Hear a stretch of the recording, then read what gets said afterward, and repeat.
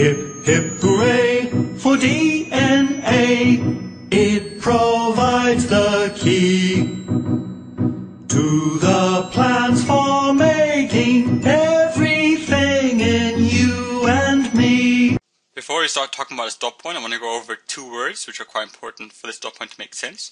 And those are species and population. Species we covered in year 11, and what a species was, was if we have two organisms that have a lot of shared characteristics that are quite similar, and not just the shared characteristics, they also can have fertile offspring.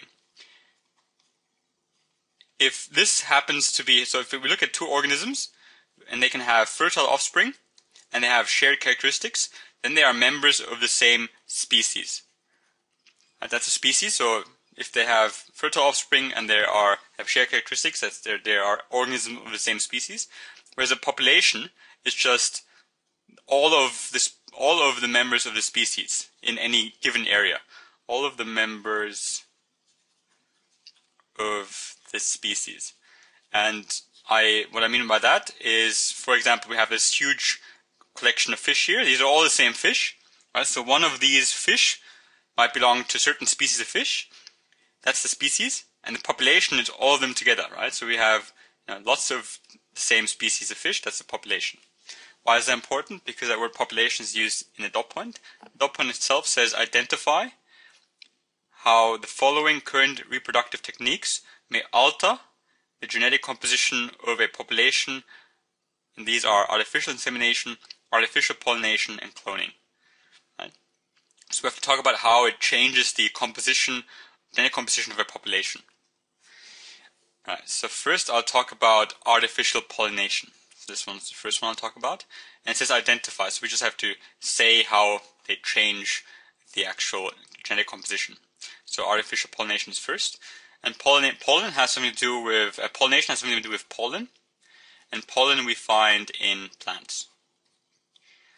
So we find pollen plants. So artificial means sort of man so man pollination. So it's not normally, normally it happens by wind, but man or humans are doing this pollination.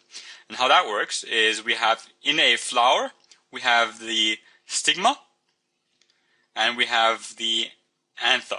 The anther is like the male sperm and the stigma is like the male, uh, female ovaries. Right? We have it all in the same plant. So we can actually, we can have this plant fertilizing itself. Uh, if the if it's pollen going here, then it's fertilized.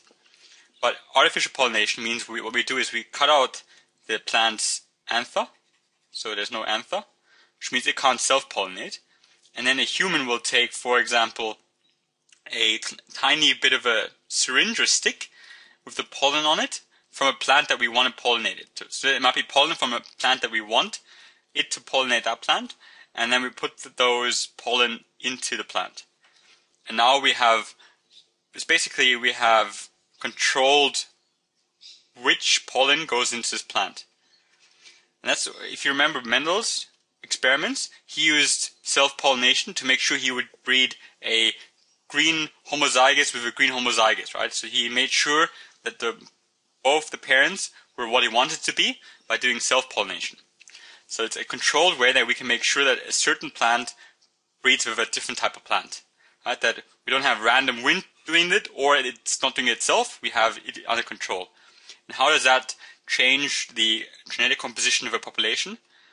Well, we're only gonna we're gonna have a very we're gonna have similar similar plants.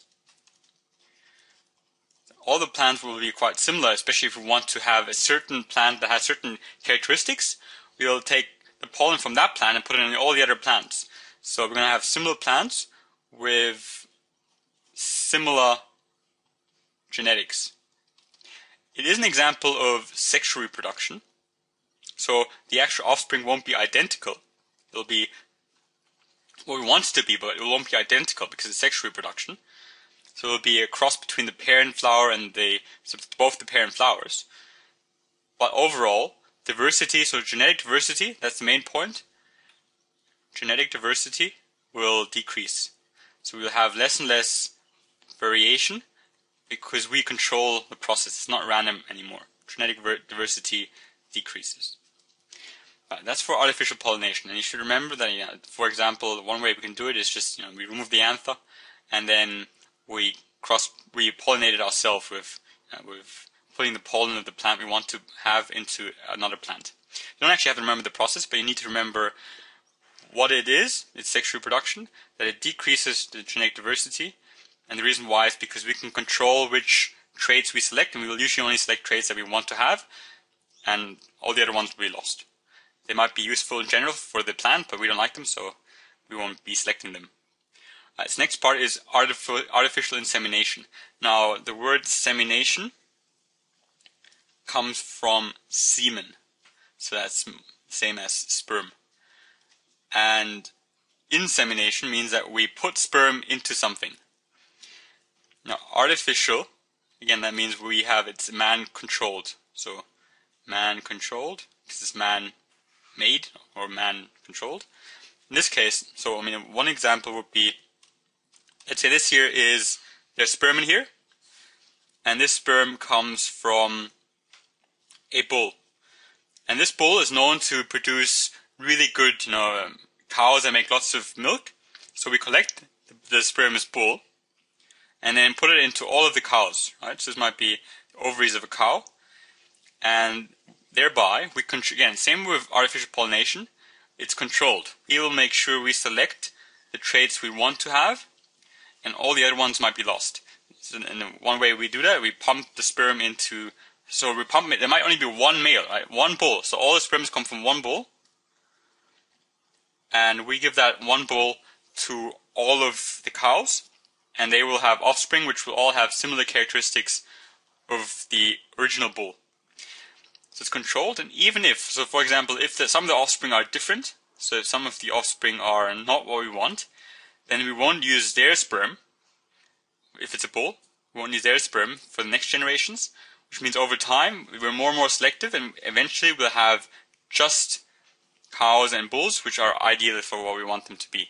Right? So it's very controlled and similar to the plants it will um, plant, have similar animals. So usually when it comes to artificial insemination, plants don't have semen, only animals do. So usually it's to do with animals. Similar animals with similar genetics. So most of the animals will have quite similar genetics. Not identical, but similar genetics.